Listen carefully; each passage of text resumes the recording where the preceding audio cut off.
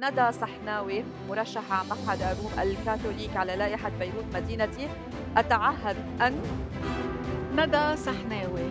بتعهد أنه كون صوتكم بالبرلمان.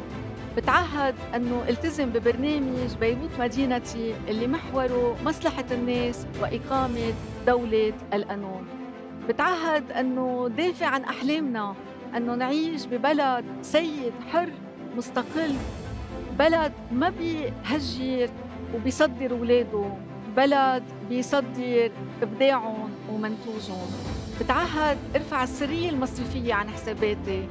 بتعهد صرح بممتلكاتي حتى لما بترك الندوة البرلمانية بيكون في وضوح إني حافظت على المال العام. بتعهد إنه ما غير. استمر بالصراحة والمصارحة وأقول كلمة الحق. مهما كلفت. اللي غرقونا بالعتمة بالزبالة بالتلوث وخلونا نتوسل بالصيدليات على أبواب المستشفيات بطوابير البنزين. اللي سببوا الانهيار المالي والاقتصادي. اللي نهبوا أموال الدولة وأموال المودعين. اللي هجرونا وهجروا أولادنا. اللي دمروا بيروت على روسنا.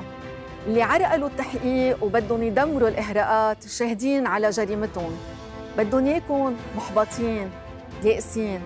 تفكروا أنه ما بيتغير شيء أنه ما بتقدروا تغيروا شيء بدهم يكون ما تنتخبوا أو بدهم ينتخبوا عندكم لأنه معهم مال. بيخافوا من أنه تكتشفوا قوتكم بيخافوا أكثر شيء من إرادتكم. مش مضطرين نختار بين طبول الحرب الأهلية والاستسلام للعتمة والتبعية. في خيارات حقيقية. فينا نختار دولة القانون دولة المساواة دولة الاقتصاد الخلاق دولة السيادة. فينا نختار الحياة. كل صوت حر في يحرر الدولة من التحاصص من الزبائنية من الفساد من الانهيار من الاستتباع. كل صوت حر في يقرر مصيره ومصير البلد. بيقول الشاعر إذا الشعب يوما أراد الحياة فلا بد أن يستجيب القدر.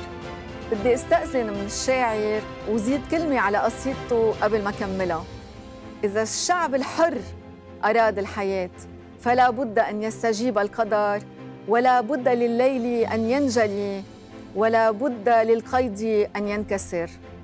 صوتكم هو الفرق.